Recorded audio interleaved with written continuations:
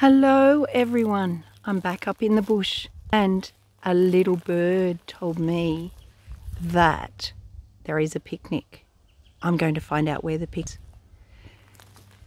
So I'm just going to go quietly.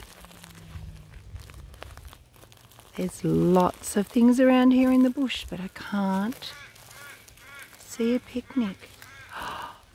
Oh my goodness, I think I've found it. Oh, look at the picnic rug. And there are so many toys out here having a picnic inside a bush cubby. They've had some mandarins and they've got some biscuits. Let's look at which toys are here. Hello everyone. How did you get here?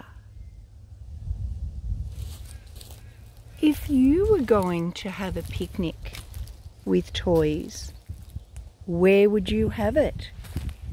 What toys would you take on your picnic?